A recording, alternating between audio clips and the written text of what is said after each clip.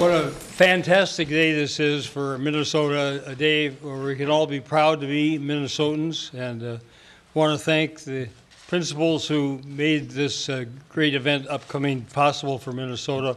Uh, Marilyn Carlson Nelson, Doug Baker, Richard Davis, who chaired the host committee, uh, Mark Wilf, and his brother Ziggy the Vikings, who made the closing case uh, that put us over the top, and uh, Michele Kelm-Helgen has just done a phenomenal job of, of putting the stadium forward on time and on budget, and uh, whose whose ecstatic leap topped uh, Maya Moore's highest, uh, uh, and definitely will be something we'll all treasure. Um, you know, especially uh, satisfying. I remember a couple years ago when we played New Orleans in the NFC Championship game, and and unfortunately didn't quite work out. So this is this is a great uh, res- response to that. Um, I think that uh, they uh, applied 10 previous times and they uh, were picked every single time. And it was the 300th anniversary of their city, which they were going to launch with the Super Bowl. And for all of you to come in and and uh, take take it away from them, uh, couldn't be better. Couldn't be better. And I also look forward to, you know, the- I read that the, never in the Super Bowl history thus far has uh, a, a home team played in the Super Bowl. So the Vikings, uh, 2018, uh, we can start sooner than that, but uh, 2008 2018, sure, go on our hometown team and our hometown stadium and uh, showcase to the world. So again, thank you all very much, and uh, this opportunity for Minnesota is uh, really going to be ex- extraordinary, exciting and uh, it's going to make a lot of people a lot of money in Minnesota. Mark. Thank you, Governor. Thank you, Governor Dayton. And on behalf of my brother Ziggy and the entire Minnesota Vikings organization, I want to thank everyone who played a significant role in helping secure this bid. We were ready and we did it. I want to personally thank you, Governor Dayton, for putting together such a tremendous team of leaders in Doug Baker, Richard Davis, and Marilyn Carlson Nelson. Richard and Marilyn's outstanding presentation to NFL owners yesterday was one of the keys to delivering the Super Bowl to Minnesota. I also want to thank the entire bid committee, especially representatives from Meet Minneapolis, the Minnesota Sports Facilities Authority, and Greater MSP for their tireless efforts throughout the process. We appreciate all the business and community leaders and public officials who participated in this bid. It truly was another great example of a successful public private partnership. And finally, I want to thank the other 31 NFL teams and owners and Commissioner Roger Goodell for their confidence in Vikings ownership and in this market. The NFL is extremely impressed with Minnesota, and they're convinced, and we will, deliver a great Super Bowl in February 2018.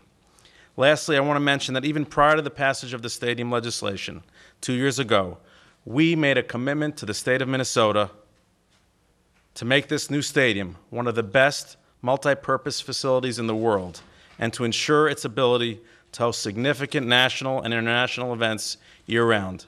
Super Bowl 52 in 2018 will give us that opportunity to showcase Minnesota as an outstanding host and will be a catalyst in pursuing and securing other major events in the future. Thank you.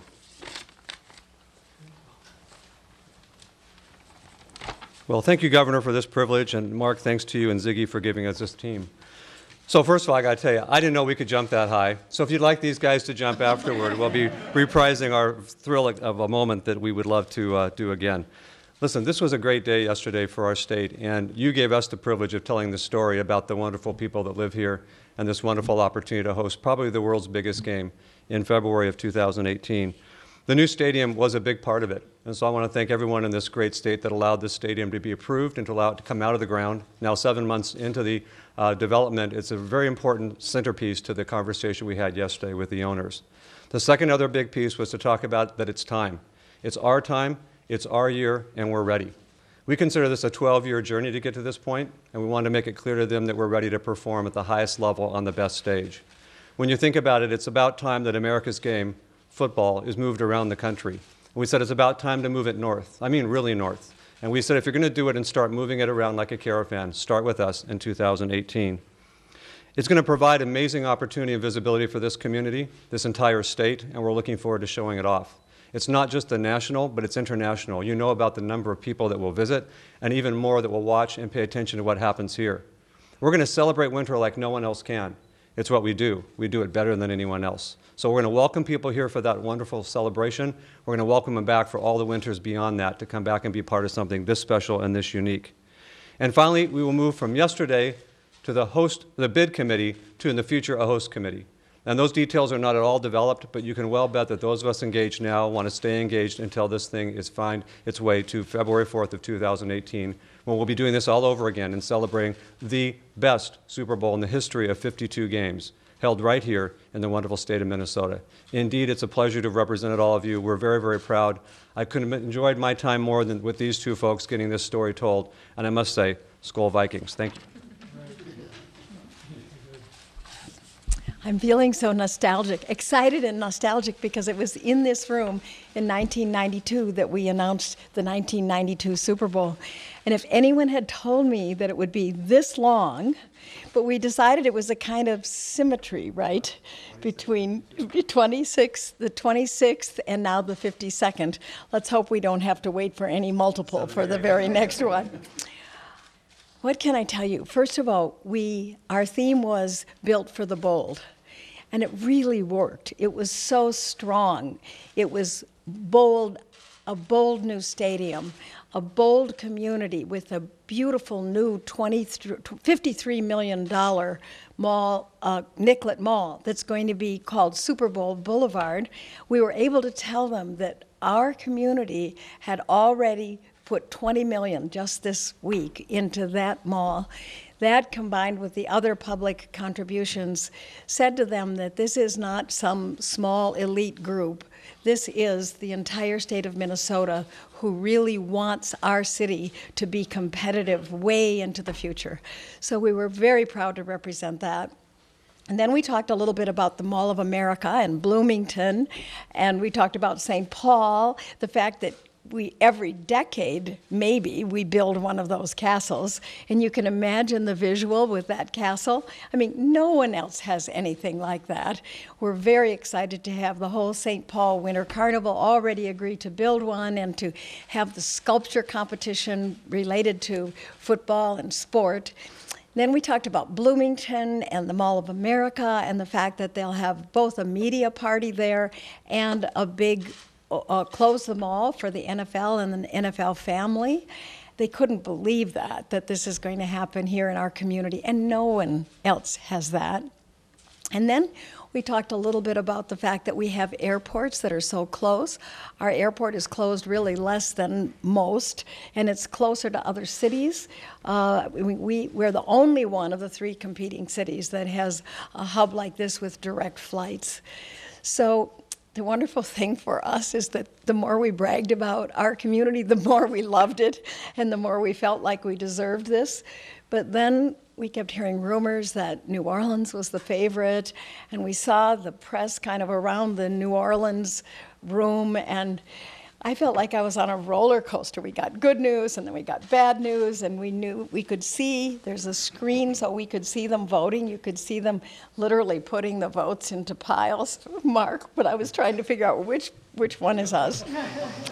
and then, of course, they didn't get a supermajority, and it went to another vote. And our group was so confident, but because last time it really took us three different bids to get the Super Bowl my heart was just pounding because I could remember that sometimes you don't, you just don't win the first time. So when they finally said Minnesota, it was just such an affirmation of, of our bid, but mostly of our community and of all the people here, the, the great fans here. And for me, the very best part is that we started something really meaningful. In 1992, we coined the term a party with a purpose. And I remember Pete Rozelle looking at me and saying, There is a purpose, Marilyn. It's the football game. And at the time, we all laughed, and I said, No, in Minnesota, we like to party, but we really like to have a purpose. So we had several wonderful things that went on in our community that year, but we started the taste of the NFL. And our own Minnesota, Wayne Kostroski, has worked with the NFL every year since. They've raised over $40 million that's gone into food shelves in all the NFL cities. And so our proposal is another legacy program. This one has to do with youth and the next generation. We're going to work with the Mayo Clinic physicians, with the NFL, to work on nutrition, safety, and uh, ultimately performance for the next generation.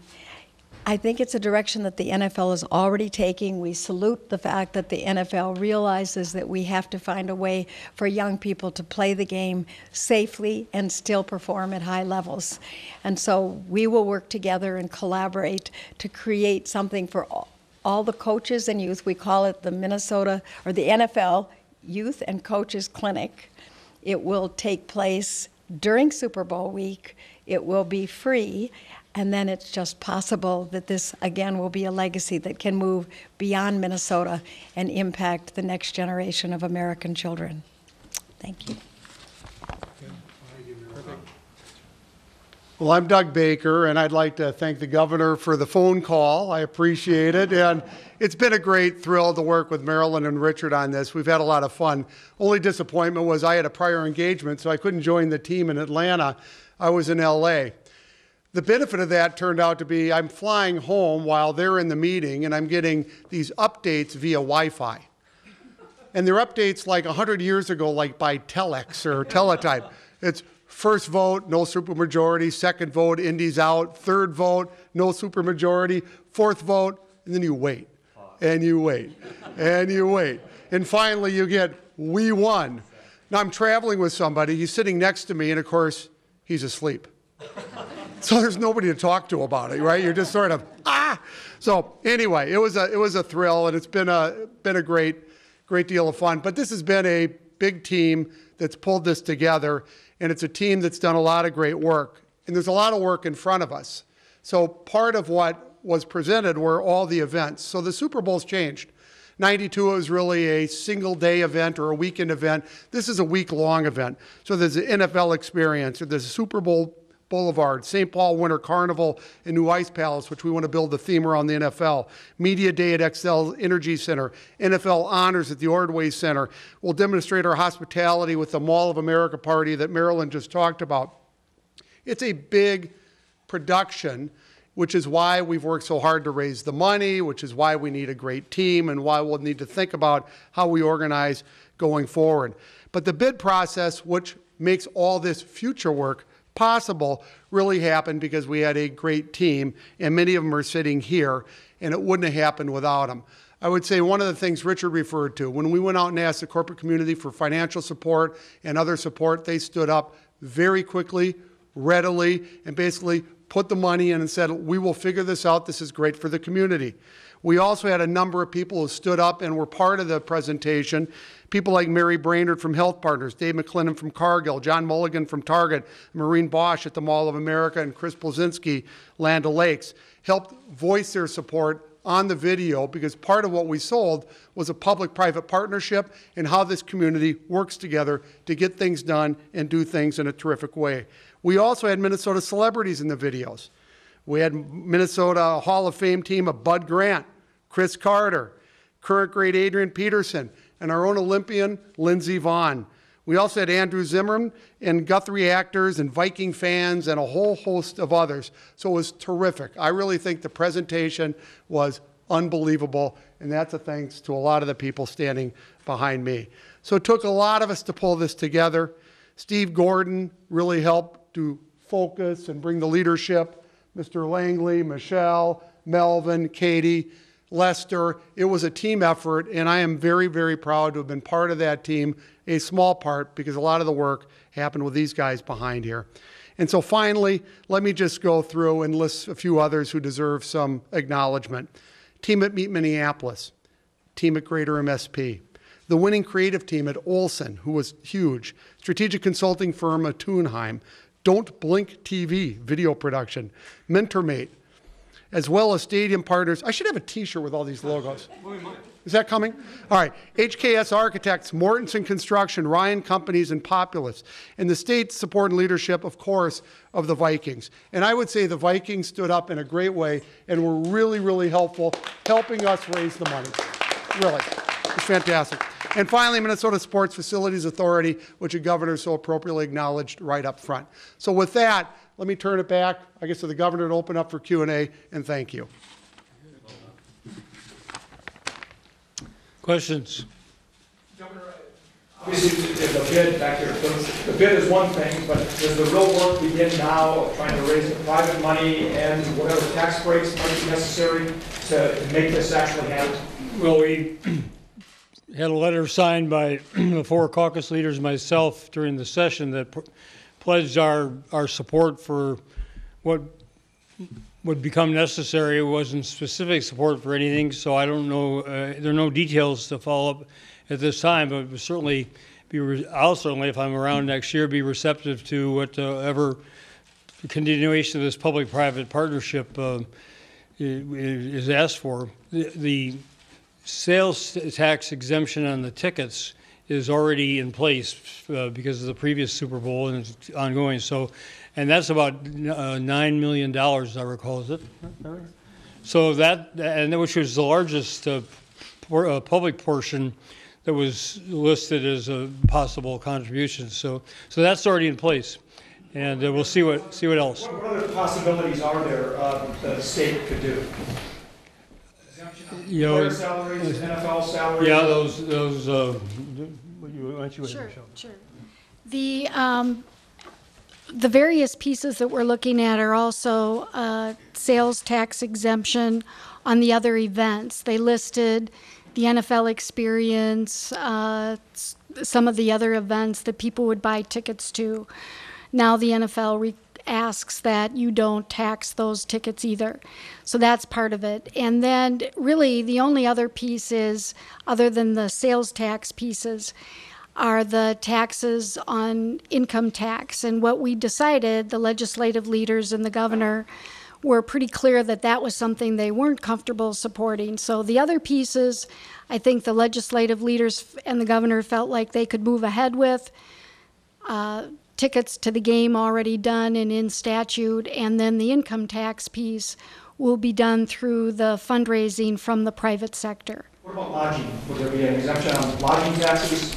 No, lodging for the, for the folks that come in is all include, they pay, taxes are paid on that. The only lodging that they've talked about is basically some of the NFL staff lodging that takes place over the course as they come in for various things, and I think that would possibly be included. So we really have to sit down with the NFL now that we have the bid and really look at the details of what it is that, that we're looking at, what's required, and determine which pieces the private sector will pay for and what'll be covered under the public sector. So we'd come back next year, work with the legislative leaders, and, and pass the legislation that would be required. What's the value of the exemption on the events? Like, do you know the You know, I really don't, again, we've got to sit down. value of the exemption on related events? Sales tax exemption? I, I don't, I don't know what it is. It depends on what it covers. So, Related Events for the, for the, I mean, in other words, not just the tickets, but the, I don't, I don't know. It is, say, it depends on what the, how the related events are defined. But, uh, I don't have anything other than the nine million dollars that's already in statute. That's the only thing that's been agreed to. That's the only thing that's been committed. There's no other commitment, uh, explicit or implicit, and, uh, that's where it stands. Can I clarify that one? These guys have already told us there's an understanding with the NFL that they're going to do the exemption on the events. Is that incorrect? Exemption on On, on the related events, is that not correct? If that's, uh, that's your agreement with the NFL, but the, the four leaders have not signed off on that to my knowledge. And as it relates to the player salaries, are you saying that you're going to raise private money to pay what the s- players would have owed on whatever income they? The, the understanding with the NFL is that we will meet the requirements that are put in, that they, that they have in place for the tax exemptions that have to be taken care of. If the, th- specifically the income tax is the one piece that the legislative leaders were very specific that they would not do, that they would not feel comfortable doing. So in fact, and again, we have not, we've got to sit down with the NFL. We've got to really figure out what all the pieces are and what the values are, and then determine what pieces are going to be covered by the legislative leaders and the governor and what's going to be covered by the private sector. I think the related events, and again, we can, you know, look at some estimates from other cities, but we really don't know what the prices will be. We don't know what the exact events will be, and we will have more information that we, on that as we work with the NFL. And we will come back and be able to detail what some of that will include. Governor Dayton, in 1992, when he hosted the Super Bowl before, the black community really was openly critical that there was no inclusion in any part of the planning process, from the host committee all the way into volunteers. So now there's a workforce diversity goals for building the stadium. Is there going to be something similar to that to put together this event as well? Well, your point's well taken. The Minnesota Stadium Authority has really led the way in terms of diversity in hiring, and uh, the goal is 39%, uh, which is really a great accomplishment, and that's something, uh, again, we should carry forward into the uh, planning committee is being called now, and and it will reflect the diversity of our metropolitan area, the diversity of our state. Governor, what about the public relations challenge of our weather? We just came off a wicked winter. I noticed the packet mentions warming houses and fire pits. What are you doing proactively? It's got to be cold enough to build the ice castle, but not so cold as to freeze everybody out of the stadium. So that's going to take some fine calibration there. uh, And, uh, you know, whoever's governor in 2018 will be directly responsible for that. But I don't have, since I'm not sure who that includes, uh, but yeah, you want to go ahead? So um, we just hit it right on. We said we do winter better than anyone else. Come here on purpose for the winter.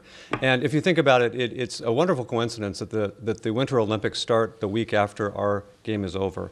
And so we're going to get the whole world just thinking about what it's like to imagine the, the uh, NBC television cameras uh, panning away while they're going to commercial break, and they'll see someone on the Loppet, or they'll see someone building an ice castle, or they'll see people skating on the, on the lakes, or even curling. We might do that in places you wouldn't expect, like on Super Bowl, on NFL Boulevard. So we've got this opportunity to make this a reason for people to come for the Super Bowl, and I want it to be so cool that they'll say, let's come back in winter, because these guys really do it well, like you would expect a, a, a city in the, in the Alps would do, when we really understand how to do it and do it well. Our biggest challenge is to prove to people that they can move around and that the connectivity of the city will work and that all the ability for them to get around and move about will be well. And some of the money we have raised, by the way, we raised $30 million like within a week. That's the kind of support this corporate community and private community set up. We'll probably need between 30 and 40 million, and we haven't even gotten to half of the companies yet as we seek the kind of support we'll need now that we have the bid.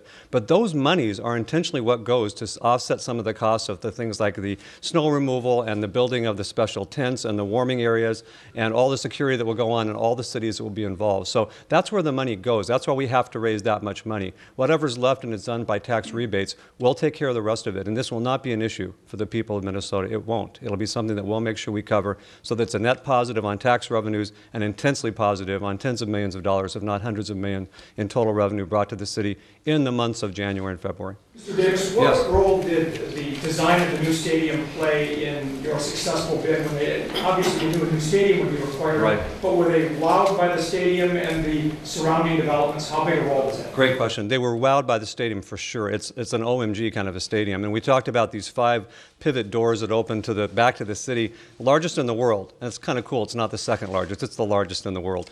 They love the uh, opaque uh, uh, ceiling. They like the fact they'll be inside outside. But then we're talking about the celebration of the, uh, of the NFL um, uh, uh, programs and all the celebration that goes on next to the stadium will be in a big tent on that new plaza that we're all building that we know about. And that's where we'll have the big parties. And it will be a very large tent with nice warming, comfortable temperatures. It'll be right next to the stadium. So effectively, instead of having a convention center right up next to the stadium, we'll create our own. And they love that idea. And then they know about the eight miles of skywalks, and they know about the connectivity of St. Paul being as involved as Bloomington, as downtown Minneapolis, as outstate. So we're going to try to make this a real regional deal. And I think they like that a lot because a lot of cities can't actually do that. So just to be clear on the, on the, on the tax issue again, the, the sales, the exemption is there on tickets to the game. The ancillary events issue is to be determined, and that private fundraising is going to account for the exemption on player salaries. Uh, That's what's been specified so far. uh, remember, we're, you know, we're three and a half years away from this, uh, so there'll be gonna be plenty of public scrutiny, whatever's done uh, in the public arena beyond what's uh, already provided in statute is going to go through the legislative process, I assume next year and maybe years following, but, um, you know, it- it'll, nothing else has been committed. The the letter from the four caucus leaders, myself, is, you know, you can get copies of it, it's very, very clear, uh, about s- talking about support in general, but, but nothing uh, specific. Any other questions? Question What's- for uh, Mark Wilf. Can you, uh, can you tell us a story we haven't heard already about what happened inside that owner's room? Was there a a moment or a a key block of owners that swung your way, or how did it develop? Well, we spoke, uh, we, we've been speaking with the owner, the ownership for, for really months regarding this uh, bid process. Just even to become a finalist back in the fall, we had to have a, an initial presentation. And then as we moved forward, we were constantly communicating. And uh, what, what I emphasized was the, uh, the strength of the public-private partnership and how great we've worked together towards building this stadium. And I think it's something important that the league and our ownership, our partners in the league, recognize that type of value of what a, what a stadium and what, what this kind of public-private partnership can mean for cities to get this kind of facility. And second, we just felt we're in a critical phase in our stadium building process, and we felt the boost of having a Super Bowl would be something very special, very unique. And we thought the community, with uh, the presentation that our, the, the, the host chairs made, was, was so effective. I think all of that combined uh, really, really swung, swung the votes. And I mean, the reality was it was nerve wracking till the very last moment, uh, just like you saw on television when they announced us as the winner. I mean, we, we had great competition. New Orleans and Indianapolis did fantastic jobs. They've, they've hosted Super Bowls and done a fantastic job. And we were fortunate to uh, be prevailing in this, in, in this bid, and uh, we look forward to hosting a great event. Are there any special design considerations that the Super Bowl requires that you can do now because you're in the early phase of your construction? Do you have to do anything different with your design or anything that, that you weren't expecting? Well, I, I think as part of our, our bid presentation, we spent a lot of time with the league. There, there are quite a few uh, requirements in terms of seating capacity and, and premium seating and uh, how to put the building together for the Super Bowl. So there was a lot of work with the super, with the NFL staff uh, to put together what the uh, what it's going to look like. So the design to the to the stadium was uh, very much having in mind a Super Bowl, and it was part of the design when we had when the legislation was passed and the agreement was made with the government that we had the ability to host Super Bowl and other other special events. What about all the planning? How does that play out? What's next? Nap. Sure. Um, As I said, we were, we were a bid committee yesterday, and we're moving toward host committee next. Um, It's, that is the earliest question um, to have, not have an answer, because we're going to start figuring out what it takes with three and a half years to develop this wonderful game. But the people standing here behind me and all that were involved that aren't intend to be part of that going forward. And Rochelle, we want to take this from a idea to an execution. And I think I said yesterday, we're going to act like it's going to be very quickly, like tomorrow. So we're going to immobilize now. We're going to get everybody lined up and start preparing for this wonderful game. We're also going to attend all the next few games and make sure that we understand best practices. We've worked with those who've already hosted. We'll continue to find out what the best solutions are for some of the best opportunities to create a Super Bowl that will wow people for the rest of eternity. So we'll just start now, effectively. We'll say tomorrow, we'll start to move on the host committee, develop who it is and what it is. What are the, what are the big things that'll be newly constructed or will get new uses? Right, okay, that's amazing, number of things, right? So we've got the, uh, first of all, the, the stadium itself, we've a billion-dollar stadium. They're going to have another $400 million set up in and around, you know, the Ryan development and all that's going to come from that, the new hotels will be part of that business uh, complex. We've got another $300 million in renovations and expansion happening at the Mall of America. Another $100 million in some of the practice fields and facilities that will be useful to the, to the Super Bowl uh, teams as they arrive here in 2018. And the Nicollet Mall, as you heard, we just, as you know, we just approved over $20 million for the development of that in 2016, which will then be made and built with the idea of making sure that it can transform into NFL Boulevard in 2018. So all the catalysts, no city had anywhere near what we have in terms of what's about to happen in the city between now and the day of the game, and I think we were able to, to showcase that pretty well too. Governor, Governor, do you regard this as validation for going out on a limb on this stadium deal uh, to get it done? So it's a wonderful success for Minnesota, and again, a great tribute to the leadership that was provided here. The reason to build the stadium was not to win a Super Bowl. the reason was to, one, keep the Vikings here for another generation, and to put some 7,500 Minnesotans to work uh, over the next couple of years to build the stadium, and also serve as a catalyst for this other economic development that Mr. Davis just described. I mean, the, the downtown east part of Minneapolis has, you know, really become almost a blighted area. The Metrodome didn't generate any uh, related economic uh, activity around it. And now we're already, within months of the stadium getting underway, have this uh, large Ryan construction project going, um, cited as the largest uh, private sector development project in Mi- Minneapolis in a generation. You have a fabulous park, uh, and the other uh, uh, related activities will be generated by th- those, those development. I mean, this is going to have a just transformative impact on, on that region of, of the city, which improves then the economic base for the entire state. That was the reason to do the project. It's about jobs for Minnesota. It's about economic growth for Minnesota. It's about uh, revitalizing downtown part of the city of Minneapolis and about uh, hosting a Super Bowl that people can be very excited about. And, and when the Vikings get in it and win the game, it's going to just be frosty on the cake. Thank you.